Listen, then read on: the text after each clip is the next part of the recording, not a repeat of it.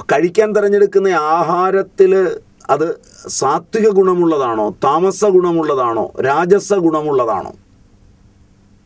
സാത്വികം എന്ന് പറയുമ്പോൾ സ്നിഗ്ധങ്ങളായ ആഹാരങ്ങൾ മധുരങ്ങളായ ആഹാരങ്ങൾ. അവ സാത്വിക ആഹാരങ്ങളാണ്. കടു എരിവുള്ളവ ഉപ്പുള്ളവ ലവണം തീഷ്ണങ്ങളായവ അത്യുഷ്ണ ഗുണമുള്ളവ. ഇവയൊക്കെ രാജസപ്രധാനങ്ങളായ ആഹാരം. ഉണ്ടാക്കിയൊരു മൂന്ന് മണിക്കൂർ കഴിഞ്ഞാൽ ഒരു യാമം കഴിഞ്ഞാൽ അതിന്റെ രസങ്ങൾ അതിൽ തന്നെ പാകമാകാൻ തുടങ്ങും. ഒട്ടേറെ ജീവികൾ അവയിൽ വീണ് അതിനെ പാകപ്പെടുത്താൻ തുടങ്ങും. അത് ഉച്ഛിഷ്ടമാണ് ആഹാരം. അതുകൊണ്ട് ആഹാരം താമസാഹാരമാണ്. ആഹാരത്തിന്റെ ഈ വ്യതിയാനം അനുസരിച്ച് സ്വഭാവത്തിൽ വ്യതിയാനം ഉണ്ടാവേണ്ടതാണ് ആഹാരത്തിന്റെ ജാതി എന്നാണ് ഇതിന് പറയുക. ആഹാരത്തിൽ നിമിത്തങ്ങളുണ്ട്. അതുണ്ടാക്കുമ്പോൾ അറിയാതെ വന്ന് വീഴുന്ന പല്ലിയും തലമുടിയും ഒക്കെ അതിന്റെ നിമിത്തമാണ്. അങ്ങനെ വല്ലതും വീണാൽ അവയുടെ സ്വഭാവവും ആഹാരത്തിലുണ്ടാവും. ഏത് പദാർത്ഥവും? ഇപ്പോൾ മാംസം ഉണ്ടാക്കി വെച്ചിരിക്കുന്നു അതിനകത്തൊരു പച്ചക്കറി കഷ്ണം അറിയാതെ വീണു. അല്ലാതെ പച്ചക്കറിയിലേക്കൊരു മാംസത്തിന്റെ കഷ്ണം വീണു അതേ നമ്മൾ പലപ്പോഴും പരിഗണിക്കുന്നുള്ളൂ. അത് ശരിയാണ്. ഷോക്ക് പോലെ റിയാക്ട് ചെയ്യലു മറ്റത് കലർന്നാലും ഈ വ്യതിയാനം ഉണ്ടാവും. കാരണം അത് അങ്ങനെ കഴിക്കാനല്ല ഉണ്ടാക്കി വെച്ചിരിക്കുന്നത്. ഉണ്ടാക്കുന്നവൻ അത് ഉണ്ടാക്കുന്ന സമയത്ത് എങ്ങനെയാണോ അതിന്റെ സങ്കല്പം അതിന് വിപരീതമായി വീഴുന്നതെല്ലാം നിമിത്തമാണ്.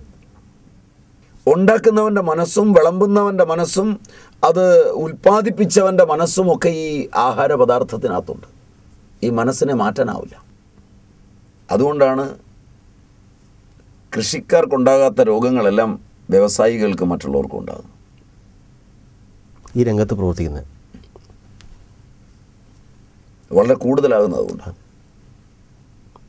ഈ ദോഷങ്ങളോട് കൂടിയ ആഹാരമുണ്ട്. അതായത് ഗുണദോഷങ്ങളോട് കൂടിയ. ആഹാരത്തിൽ വാതജങ്ങളായ ആഹാരങ്ങളുണ്ട്. ആകാശ വായു അംശങ്ങൾ കൂടിയ ആഹാരങ്ങളുണ്ട്. വായവ്യ പദാർത്ഥങ്ങളെന്ന് പറയും. വായുവിന്റെ ഗുണം കൂടുതലുള്ളവ. ആഹാരങ്ങളിൽ അങ്ങനെ പദാർത്ഥമുണ്ട്. അവ അകത്ത് ചെല്ലുമ്പോൾ വാതജങ്ങളായ വികാരങ്ങൾക്കൊരു ഉത്തേജനം ഉണ്ടാവും. അതുപോലെ തന്നെ പിത്തജങ്ങളായ പദാർത്ഥങ്ങളുണ്ട്. അഗ്നിയെ വർദ്ധിപ്പിക്കുന്ന പദാർത്ഥങ്ങളുണ്ട്. ദഹിപ്പിക്കുന്നു. ഇതുവരെ ദഹനം കുറവാണെങ്കിൽ ഈ ഒരു ആഹാരം കഴിച്ചു കഴിഞ്ഞാൽ ദഹനം ഇരട്ടിയാകുകയായി. അപ്പോൾ നമ്മുടെ ദഹനശേഷിയെ വർദ്ധിപ്പിക്കാൻ പിത്തവികാരത്തെ വർദ്ധിപ്പിക്കാൻ പര്യാപ്തങ്ങളായ ആഹാര പദാർത്ഥങ്ങളുണ്ട്. അത് പിത്തജങ്ങൾ എന്ന് പറയും. കഫത്തെ വർദ്ധിപ്പിക്കുന്ന ആഹാര പദാർത്ഥങ്ങളുണ്ട് അത് കഫജങ്ങൾ എന്ന് പറയും. ആഹാരത്തിൽ ശീതം ഉഷ്ണം മുതലായ ഗുണങ്ങളുള്ള ആഹാരങ്ങളുണ്ട്. ആഹാരത്തിൽ മധുരം പുളി ഉപ്പ് എരിവ് കയ്പ് ചവർപ്പ് തുടങ്ങിയ രസങ്ങളുള്ളവയുണ്ട്. ഷഡ് രസങ്ങളുടെ വ്യത്യാസമുള്ളവയുണ്ട്. അപ്പം ഇതൊക്കെ അറിഞ്ഞൊന്നുമല്ല നമ്മൾ ആഹരിക്കും ഇവയുടെ സങ്കലിത രൂപങ്ങളും സങ്കീർണതയിൽ യോജിപ്പിച്ചിട്ടുള്ളവയും ഒക്കെ കഴിക്കുമ്പോൾ വ്യക്തിയിൽ എന്തു മാറ്റം വരും?